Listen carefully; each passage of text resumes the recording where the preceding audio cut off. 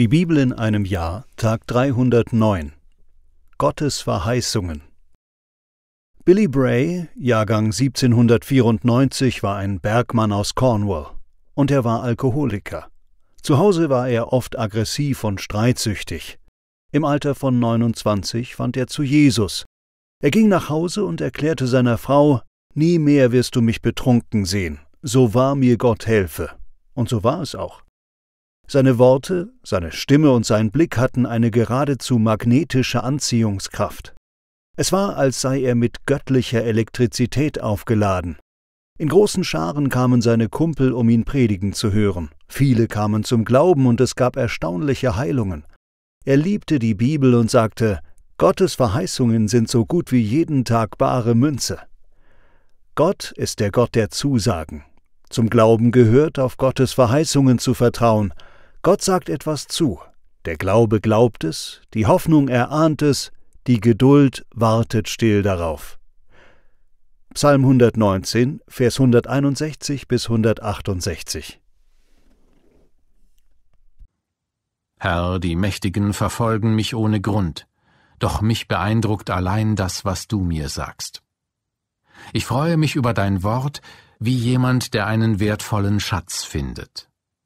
Ich verabscheue gemeine Lügen, dein Gesetz aber liebe ich. Siebenmal am Tag lobe ich dich, Herr, denn deine Entscheidungen sind gut und gerecht. Wer dein Gesetz lieb hat, lebt in Frieden und Glück. Ein solcher Mensch wird niemals scheitern. Herr, ich hoffe darauf, dass du mich rettest, denn ich habe mich nach deinen Geboten gerichtet. Deine Weisungen sind der Maßstab für mein Handeln ich habe sie fest ins Herz geschlossen. Ja, deine Befehle und Mahnungen befolge ich, denn du siehst alles, was ich tue. Gottes Verheißungen schenken Freude, Erfüllung und Frieden. Der Psalmist sagt, die dein Gesetz lieben, haben großen Frieden, sie werden nicht zu Fall kommen. Ich erinnere mich an eine junge Atheistin, die bei Alpha von einer Lehre in ihrem Leben erzählte, dass sie etwas fehle. Was ihr an Christen aufgefallen sei, dass sie einen großen Frieden hatten. Sie erkannte, dass dieser Friede aus dem Glauben kommt. Der letzte Ort, an dem viele Menschen damit rechnen, Frieden, Erfüllung und Freude zu finden, ist in der Bibel, doch der Psalmist sagt, ich freue mich über deine Verheißungen wie einer, der reiche Beute gemacht hat. Der Psalmist beschreibt Gottes Wort mit vielen verschiedenen Worten.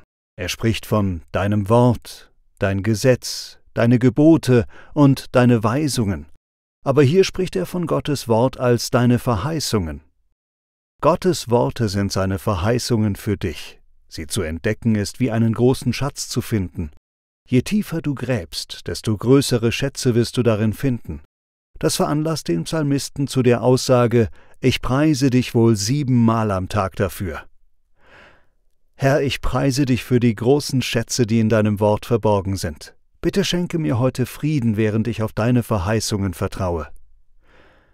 Neues Testament, Hebräer 6, Vers 13 bis Kapitel 7, Vers 10.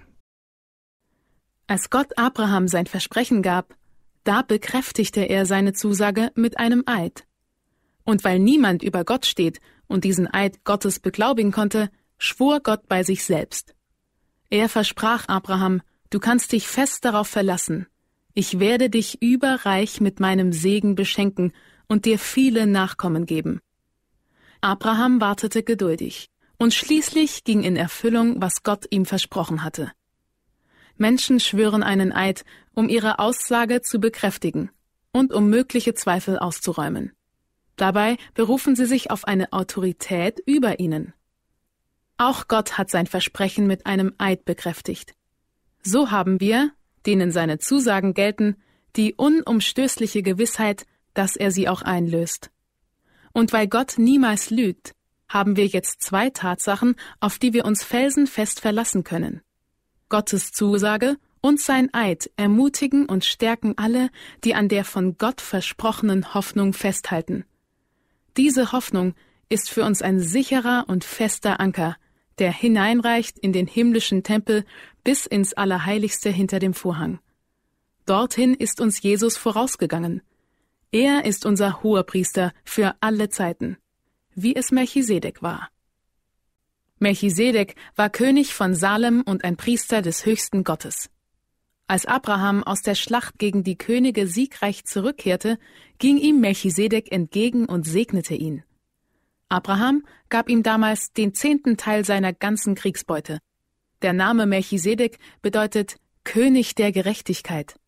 Er heißt aber auch König von Salem, das bedeutet König des Friedens. Weder der Vater noch die Mutter von Melchisedek sind bekannt. Auch keiner seiner Vorfahren. Man weiß nicht, wann er geboren, auch nicht, wann er gestorben ist. Sein Leben war gewissermaßen ohne Anfang und ohne Ende. Er gleicht dem Sohn Gottes und bleibt Priester für alle Zeit. Wie bedeutend muss dieser König und Priester sein, dem Abraham, der Stammvater Israels, den zehnten Teil seiner Siegesbeute übergab. Zwar haben die jüdischen Priester als Nachkommen von Levi ein Anrecht darauf, von den Angehörigen ihres Volkes den zehnten Teil vom Ernteertrag zu bekommen, und das, obwohl sie ihre Brüder sind und wie diese von Abraham abstammen. Melchisedek aber gehörte gar nicht zu Abrahams Volk. Dennoch nahm er den zehnten Teil der Beute an und segnete Abraham, dem Gott seine Zusagen gegeben hatte. Nun steht ohne jede Frage der Segnende über dem, der den Segen empfängt. Die jüdischen Priester, die den zehnten Teil der Ernte erhalten, sind sterbliche Menschen. Mit Melchisedek aber nahm einer den zehnten Teil entgegen, von dem die Heilige Schrift bezeugt, dass er lebt. Indem Abraham Melchisedek ein Zehntel der Beute gab, hat dies sozusagen auch Levi getan, obwohl er als Priester doch selbst den zehnten Teil empfängt. Zwar war Levi damals noch gar nicht geboren, aber bei Abrahams Begegnung mit Melchisedek stand schon fest, dass Levi zu Abrahams Nachkommen zählen würde. Vertrau auf Gottes Verheißungen und warte geduldig. Abraham wartete 25 Jahre, Josef 13 Jahre, Mose 25 Jahre und Jesus wartete 30 Jahre. Wenn Gott dich warten lässt, befindest du dich in bester Gesellschaft. Mir kommt es oft so vor, als dauere die Zeit zwischen Verheißung und Eintreten der Zusage länger als erwartet. Ich lerne langsam geduldiger zu werden. Gottes Zusagen sind ein Anker für unsere Seele, sie sind sicher und stark, er hält sie ein, selbst wenn alle Umstände das Gegenteil vermuten lassen. Eine Verzögerung bedeutet keine Negierung der Verheißung. Abraham wird beschrieben als ein Mann, der bereits die Zusagen Gottes empfangen hatte. Abraham und Sarah waren von Gott berufen, er verhieß ihnen, dass aus ihnen ein großes Volk hervorgehen würde, er versprach ihnen Kinder, aber sie mussten viele Jahre warten, bis sich dieses Versprechen erfüllte, sie warteten und warteten. Sie beschritten falsche Wege, um Gottes Zusage nachzuhelfen. Schließlich hielt der Herr sein Versprechen, das er Sarah gegeben hatte, als Abraham hundert Jahre alt war. Endlich löste Gott sein Versprechen ein. Abraham wartete geduldig und empfing schließlich, was Gott ihm versprochen hatte.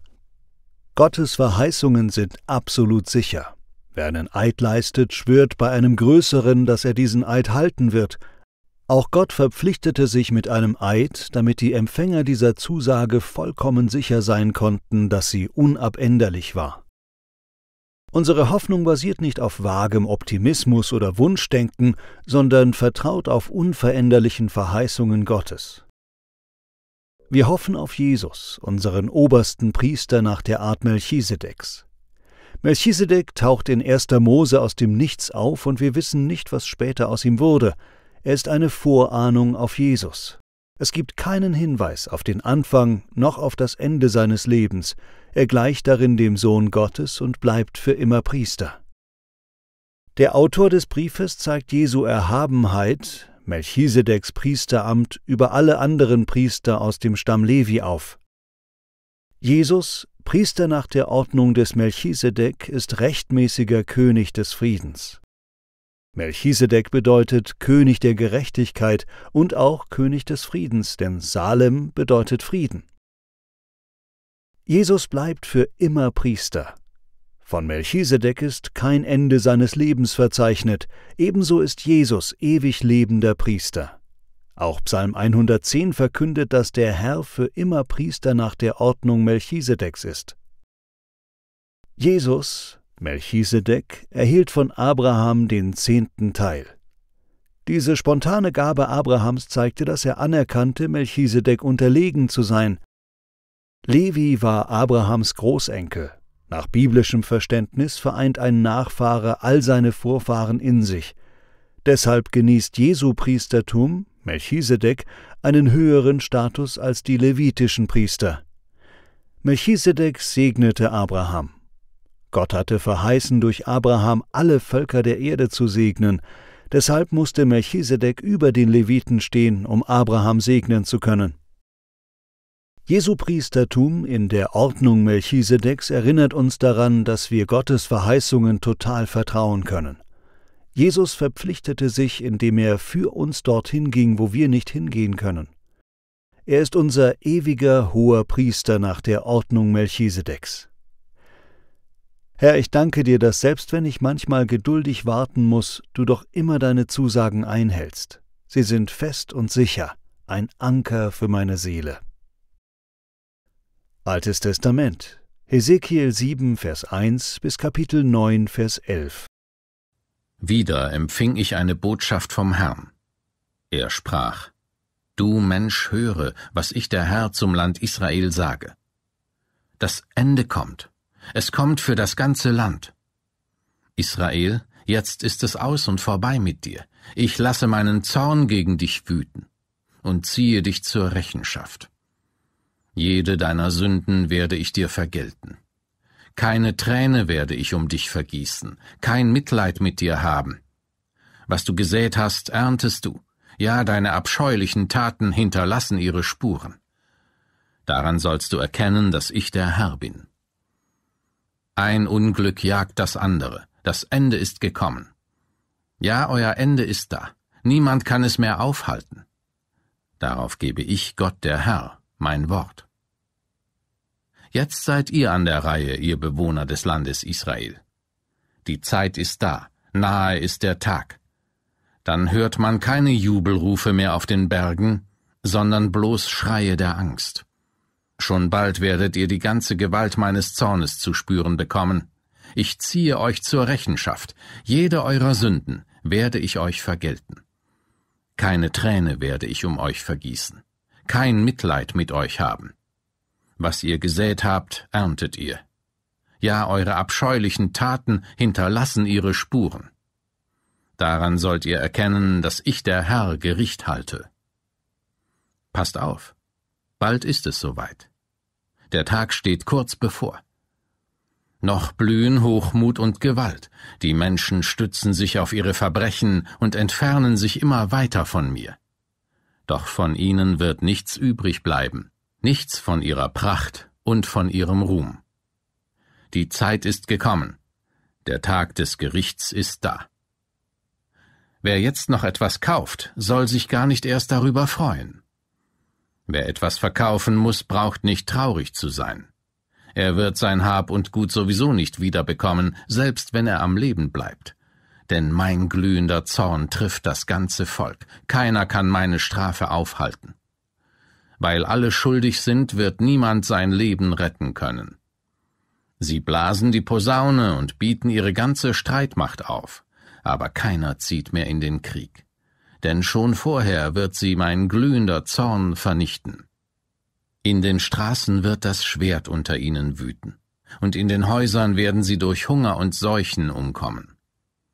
Wer auf dem Feld ist, wird von den Feinden niedergestochen, und wer sich in der Stadt aufhält, den raffen Hunger und Seuchen hinweg. Wer entkommen kann, muss im Gebirge hausen. Jeder leidet unter seiner Schuld und klagt wie eine verängstigte Taube. Wie gelähmt lassen alle die Hände sinken und ihre Knie schlottern. Sie haben Trauergewänder angelegt und zittern am ganzen Leib. Die Scham steht ihnen ins Gesicht geschrieben. Die Köpfe haben sie sich kahl geschoren. Silber und Gold werfen sie voller Ekel hinaus auf die Straßen, als wäre es Abfall. Denn ihre Schätze können ihnen nicht helfen, an dem Tag, an dem mein Zorn gegen sie losbricht. Ihren Hunger können sie damit nicht mehr stillen und ihren Bauch nicht mit ihnen füllen. Im Gegenteil. Gold und Silber haben sie erst dazu verleitet, sich gegen mich aufzulehnen. Sie waren stolz auf ihren kostbaren Schmuck und fertigten daraus ihre abscheulichen Götterfiguren. Darum habe ich dafür gesorgt, dass ihr Gold sie nun anwidert und sie es wegwerfen wie Müll. Fremde Völker lasse ich über ihre Schätze herfallen, Gottlose werden sie plündern und die Götzenstatuen entweihen. Ich wende mich ab von meinem Volk. Ja, ich lasse zu, dass mein geliebtes Heiligtum geschändet wird. Räuber werden in den Tempel eindringen und ein großes Blutbad anrichten. Denn das ganze Land hat durch Mord und Totschlag Schuld auf sich geladen. Und in Jerusalem herrscht die Gewalt. Die grausamsten Völker lasse ich heranrücken, damit sie die Häuser in Besitz nehmen. Die Bewohner von Israel waren stolz auf ihre Macht, doch nun werde ich ihnen ihren Hochmut austreiben und alle ihre Heiligtümer entweihen. Sie werden von Angst gepackt, sie suchen Frieden, aber es wird keinen geben. Unglück über Unglück bricht über sie herein, eine Schreckensnachricht jagt die andere. Sie flehen die Propheten um Hilfe an, doch die haben keine Visionen. Die Priester können das Volk nicht mehr in Gottes Gesetz unterweisen, und die führenden Männer wissen keinen Rat. Der König trauert, seine hohen Beamten sind völlig verzweifelt, alle Bewohner des Landes zittern vor Angst. Ich gehe mit ihnen um, wie sie es verdient haben. Ich richte sie so erbarmungslos, wie sie andere gerichtet haben. Dann werden sie erkennen, dass ich der Herr bin. Im sechsten Jahr der Verbannung unseres Volkes, am fünften Tag des sechsten Monats, war ich in meinem Haus, und die führenden Männer von Juda saßen bei mir. Da wurde ich von Gott dem Herrn ergriffen, und er gab mir eine Vision. Ich sah eine lodernde Gestalt, die der eines Mannes glich. Unterhalb der Hüfte sah sie aus wie Feuer, oberhalb leuchtete ihr Leib wie glänzendes Metall. Sie streckte so etwas wie eine Hand nach mir aus und packte mich bei den Haaren. In der Vision hob mich der Geist Gottes weit über die Erde empor und brachte mich nach Jerusalem, zum Nordtor des inneren Tempelvorhofs. Dort stand eine Götzenstatue, die den leidenschaftlichen Zorn des Herrn erregte. Plötzlich erblickte ich den Gott Israels in seiner Herrlichkeit so wie ich ihn schon im Tal am Fluss Kebar gesehen hatte. Er sprach zu mir, Du Mensch, richte deinen Blick nach Norden. Ich schaute nach Norden und sah auf der anderen Seite des Tores einen Altar. Im Toreingang davor stand die Götzenstatue, über die der Herr so zornig war. Du Mensch, sagte er zu mir, siehst du, was das Volk Israel hier tut? Es opfert abscheulichen Götzen, um mich aus meinem Heiligtum zu vertreiben. Doch warte, es kommt noch schlimmer. Er brachte mich zum Eingang des äußeren Tempelvorhofs, und dort entdeckte ich ein Loch in der Mauer. Gott befahl mir, Du Mensch, durchbrich die Mauer. Ich tat es und stieß dahinter auf eine Tür. Dann forderte er mich auf, Geh hinein und sieh, was für abscheuliche Dinge sie dort treiben. Ich ging durch die Tür und sah, in die Wände ringsum waren Bilder von Tieren eingeritzt, die das Volk Israel als Götter verehrte, Bilder von Kriechtieren und anderem scheußlichen Getier. Siebzig der führenden Männer Israels standen davor, unter ihnen auch Jaasanja, der Sohn von Schafan. Jeder hielt eine Räucherpfanne in der Hand, und eine Duftwolke von Weihrauch stieg empor. Gott sprach zu mir, Hast du gesehen, Mensch, was die führenden Männer des Volkes Israel treiben? Jeder von ihnen betet hier heimlich seine eigenen Götterbilder in einer Kammer an. Sie behaupten, der Herr sieht uns nicht, er hat das Land verlassen. Doch warte, es kommt noch schlimmer. Er brachte mich wieder zum Nordtor des inneren Tempelvorhofs. Dort saßen Frauen, die den Tod des Gottes Tammuz beweinten. Gott fragte mich, hast du das gesehen, Mensch? Aber es kommt noch schlimmer. Er brachte mich in den inneren Tempelvorhof. Am Eingang zum Heiligtum zwischen der Vorhalle und dem Altar standen etwa 25 Männer mit dem Rücken zum Tempel und dem Gesicht nach Osten. Sie warfen sich vor der Sonne im Osten nieder und beteten sie an. Da sagte Gott zu mir, Hast du das gesehen, Mensch? Sind den Leuten von Juda die abscheulichen Dinge noch nicht genug, die sie hier treiben? Das ganze Land haben sie mit Unrecht und Gewalt erfüllt und mich damit immer wieder beleidigt. Sieh nur, wie sie sich bei ihren Opferfeiern Weinreben an die Nase halten. Darum lasse ich sie nun meinen Zorn spüren. Keine Träne werde ich um sie vergießen, kein Mitleid mit ihnen haben. Auch wenn sie mir mit ihrem Geschrei in den Ohren liegen, ich werde sie nicht erhören. Ich hörte, wie Gott mit lauter Stimme rief, Kommt und vollstreckt das Urteil über Jerusalem. Greift zu den Waffen, um die Menschen in der Stadt zu vernichten. Da kamen sechs Männer durch das obere Tor an der Nordseite des Tempels, jeder von ihnen hielt eine tödliche Waffe in der Hand. Bei ihnen war ein Mann, der ein Gewand aus Leinen trug. An seinem Gürtel hing die Ausrüstung eines Schreibers. Die Männer kamen näher und stellten sich neben den bronzenen Altar. Der Herr, der Gott Israels, entfernte sich von den Keruben, über denen er in seiner Herrlichkeit thronte, und ließ sich an der Türschwelle des Tempels nieder.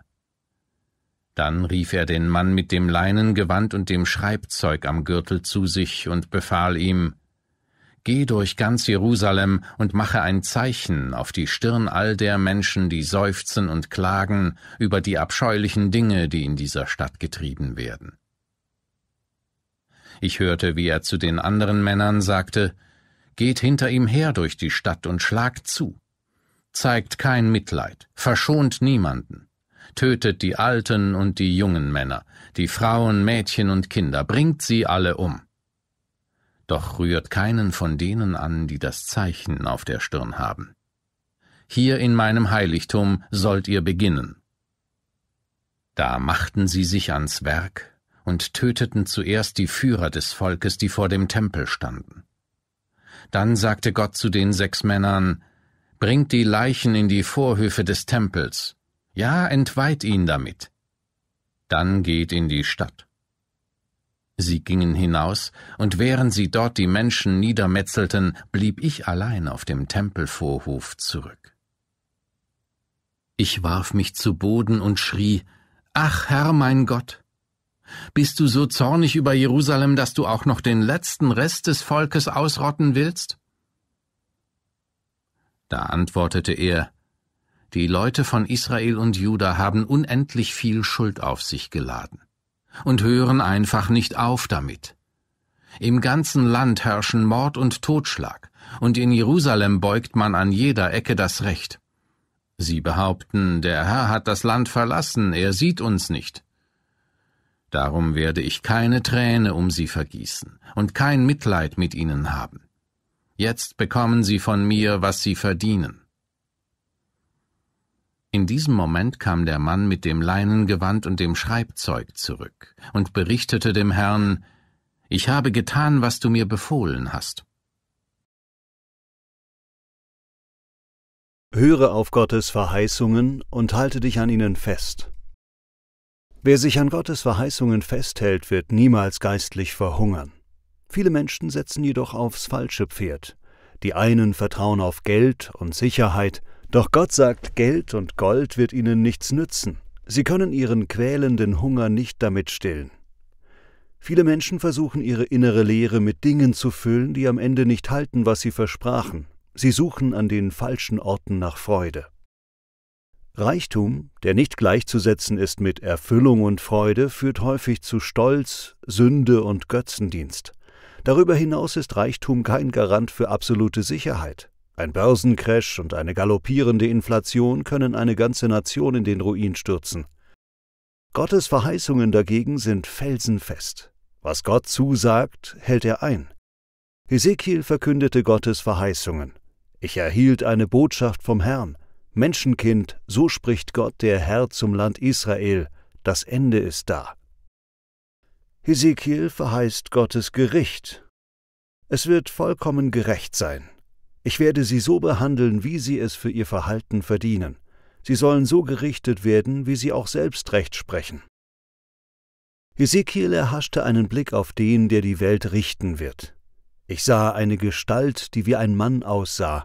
Von den Hüften abwärts war er wie eine lodernde Flamme, von den Hüften aufwärts glänzte er wie das Licht, wie leuchtende Bronze. Diese Beschreibung hat starke Ähnlichkeit mit der Beschreibung Jesu in der Offenbarung 1, Vers 10 bis 16. Der einzige Weg, dem Gericht zu entgehen, ist ein Zeichen auf der Stirn. Der Herr sagt, geh mitten durch die Stadt, mitten durch Jerusalem und bei all denen, die über die abscheulichen Taten, die bei ihnen geschehen, weinen und seufzen, sollst du ein Zeichen an der Stirn anbringen. Rührt jedoch diejenigen, die das Zeichen tragen, nicht an. Das Zeichen auf der Stirn schützte vor dem bevorstehenden Gericht. Das Wort für Zeichen ist der hebräische Buchstabe Tav. Es ist der letzte Buchstabe des hebräischen Alphabets. Damals wurde er wie ein X, ein Kreuz dargestellt. Zufall? Oder ist die Tatsache von Bedeutung, dass wer geschützt war, schon damals das Zeichen des Kreuzes auf der Stirn trug? In der Offenbarung ruft ein Engel aus, zerstört nicht das Land oder das Meer oder die Bäume, bis wir den Dienern Gottes sein Siegel auf die Stirn gedrückt haben. Herr, danke, dass du meine Sünde und mein Urteil am Kreuz für mich getragen hast. Danke für das Zeichen auf meiner Stirn. Danke, dass auf deine Verheißungen für meine Zukunft Verlass ist, dass ich in ihnen einen Anker für meine Seele habe. Noch ein Gedanke meiner Frau. Hebräer 6, Vers 15. Danach wartete Abraham geduldig und empfing schließlich, was Gott ihm versprochen hatte. Warten ist so schwer. Abrahams Vorbild macht Mut, weiter zu beten, selbst wenn man das Gefühl hat, es tut sich nichts.